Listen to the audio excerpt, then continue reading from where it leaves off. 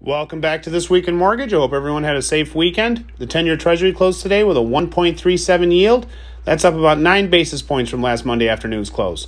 Mortgage rates remain very low and very supportive of the housing market.